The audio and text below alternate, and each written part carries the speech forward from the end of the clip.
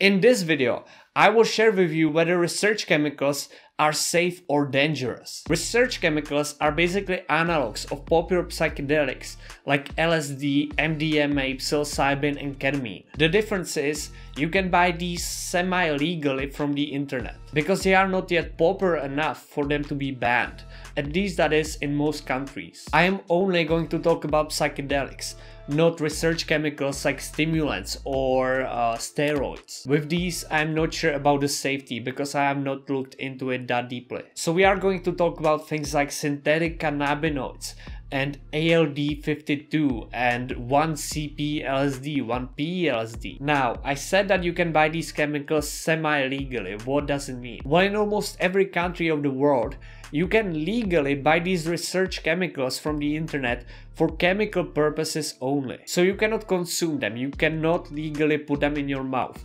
But whether or not anybody cares is a different story. And even then, if these chemicals are not scheduled in your country, you shouldn't get into any legal trouble by taking them. With that said, if the chemicals are scheduled in your country, you cannot even buy them legally. So if you buy 1P LSD from a chemical research company and the drug is scheduled in your country, you are committing a crime. So be careful there. You most definitely would not get arrested for that. It is just likely that the package will not come into your hands. But if you live in Asia or even in some states of the US where the rules around drugs are incredibly strict, I would not buy something that is scheduled in your country. That is something I wouldn't do even if your country has the most liberal laws.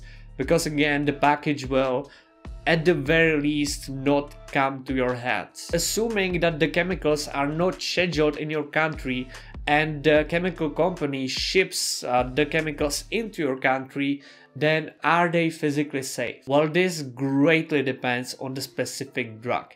Some I would say are extremely safe and have almost no harm potential, while some could actually kill you. When it comes to lysergamides like 1P LSD, 1B LSD, ALD52, AL-LAD, LSZ, all of these are safe. And the reason I believe that and the reason I'm confident about this is that these drugs have similar dosages to LSD, similar effects of LSD, and there has not been reported a single death or any physical harm from these chemicals. And while it is true that there are no studies on these specific chemicals, many, many people have taken them in the past. So we have access to a huge amount of trip reports from which it is certain that these chemicals, these lysergamides are safe. And if you need a scientific proof on the safety of these research chemicals, we don't have that and we may not ever have that, but what we do know from scientific uh, research is that these chemicals produce exact same effects on your receptors and on your system. So LSD targets exactly the same receptors as ALD52 for example. AL-LAD and all the other LADs are a bit different when it comes to how they react to your brain, but these might actually be even safer. Just like with LSD, they don't seem to show any harm physically, but when it comes to preventing bad trips, AL-LAD is safer because it doesn't allow you to face your traumas, which is a good thing and a bad thing depending on how you look at it. With lysergamides, one exception to all of that is LSM-775. I discourage taking this drug, not because it is unsafe, I don't know about that, it's just that we don't know. There's not much research on it and people report that LSM is something between LSD and DXM, which could be dangerous. LSM probably is safe as well though, but I am not as confident about that,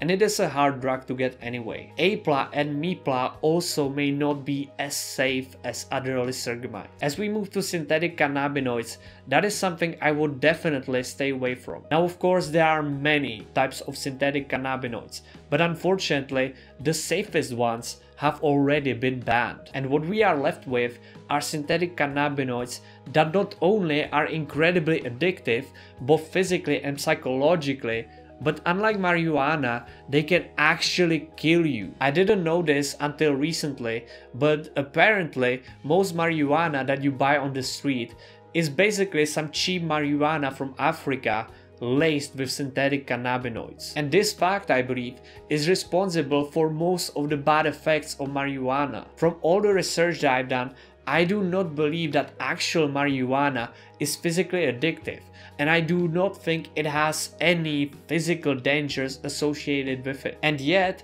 there are so many people that experience marijuana withdrawals or even physical damage. And I truly believe that synthetic cannabinoids are to blame, and I would definitely stay away from them. They are most likely not worth it. I also encourage you to stay away from the NBOMe family as well as the NBOH family. This drug is comparable to LSD. It usually is sold on a blotter, but unlike LSD, NBOMEs and NBOHs are physically dangerous. They have been connected to multiple deaths already, even when they have not been combined with SSRIs or alcohol, and as little as two tabs could kill you. The problem is that NBOMEs and NBOHs are easier to synthesize and also cheaper to synthesize than LSD and other lysergamides, which means that dealers may sometimes sell you NBOMEs and tell you that it is LSD. The way you know it is not NBOMEs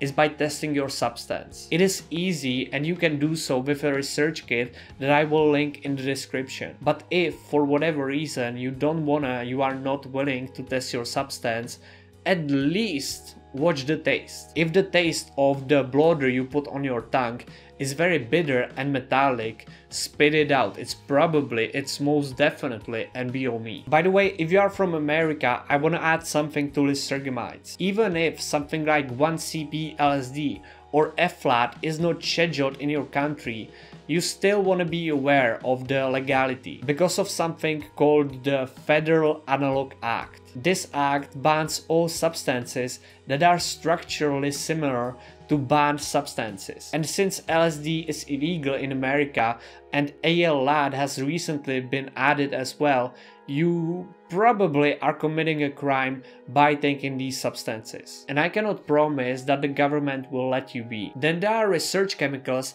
that are structurally similar to ketamine. Specifically, the three most common ones are OPCE, 2FDCK, and DCK. These research chemicals are not yet that well studied and might never be. And since ketamine itself already has some long-term side effects like neurotoxicity, especially if you take it on regular basis, and also some potential for physical harm, I would stay away from these chemicals. In general, I'm not a big fan of ketamine. I don't think it is worth it unless you are battling with severe depression. Is it better than SSRIs? Sure, but you also may not need it. So I, as a healthy person, would not buy these chemicals. The same goes for PCP analogs like 3-MeO-PCP. But with PCP, I don't find this drug to be worth it for the vast majority of people. Does it have some benefits? Sure, but I wouldn't even try it to be honest. As a side note, many people from the psychedelic community believe that most psychedelics are good for you. I definitely do not agree with that. Some of these substances, like PCP, I know that it's a dissociative, but that one actually is incredibly addictive and has a lot of potential for harm. It could actually kill you. So I would say no to 3-MeO-PCP and other analogs. But if you are gonna take them, then the safety profile is actually almost identical to regular PCP. Then there are drugs similar to MDMA. Two most common examples are 5-APB and 6-APB. What is great about these, in opposed to taking regular MDMA, is that with 5-APB and 6-APB, you kind of know what you are taking, whereas with MDMA, it is notoriously impure. But if I knew that my MDMA is pure, I would much rather take that than 5-APB or 6-APB, because these research chemicals are more similar to MDA, and MDA seems to be way more neurotoxic than MDMA. What I want to leave you with is do not be a guinea pig. Do not test substances where you are not sure if they are safe or not. With most of the chemicals that I mentioned, so many people have taken them that we kind of know about their safety. But if you are taking beta hydroxy ABC785 that no one has ever tried before, be really careful. I would not take that at all. You just cannot know whether or not the drug is safe. And not only may you harm yourself, but also this psychedelic movement. Because if you die after taking this ABC 785, you can be sure that the society is gonna find out and they are gonna blame psychedelics in general. So thank you for being responsible. I love you so much and share this video if you found it helpful.